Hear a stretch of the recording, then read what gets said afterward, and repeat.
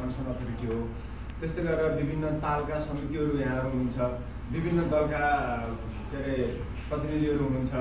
अन्य संस्थाका प्रतिनिधिहरू हुनुहुन्छ। यो प्रत्येक सङ्घ संस्थाहरूको कुनै न कुनै हिसाबले यो तालहरूसँग केही न केही हिसाबले जोडिएको छ। एउटा स्टेक होल्डरका रूपमा कन्सर्न अथोरिटीका रूपमा जोडिएको भएको हुनाले। त्यो उहाँहरू हामी यहाँ